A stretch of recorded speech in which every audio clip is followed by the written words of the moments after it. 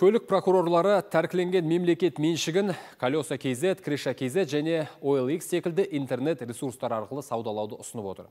Өйткені тәркіленген дүниелер көп жағдайда нарықтағы құнынан әлде қайда төмен бағаға сатылады екен. Оған мемлекеттік мүлік тізілімі веб-порталының ел ішінде танымал еместігі себеп болыпты.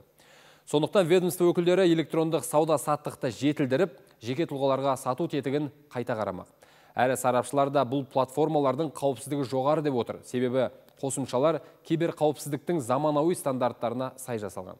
Бастысы есеп айырысар кезде абай болған абзал екен. Сауда платформаларымен жұмыс жасағанда ең қауіпті қадамдарының бірі есеп айырысу үрдісі.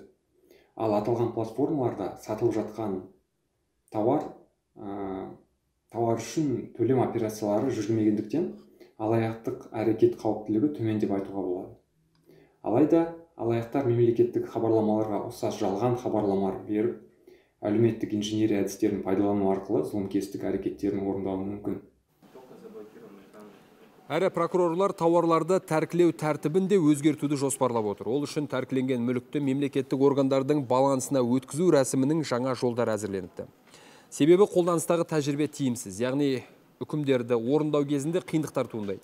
Тіпті кейде қылмыстық құқық бұзушылықтар да тіркеліп жатады екен. Мәселен пандемия кезінде көлік прокурорлары құны 140 миллион теңгені құрайтын 60 мың данадан астам медициналық жеке қорғаныс құралдарын шетелге асыру дерегін анықтап тоқтатқан.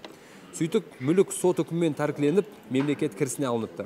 Бірақ комбинезондар бірден дәрігерлерге берілмеген.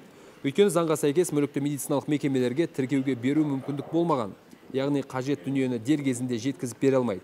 Міне осы секілді олқылықтарды жою үшін мүлікті тәркілеу тәртібі қайта қаралып отыр.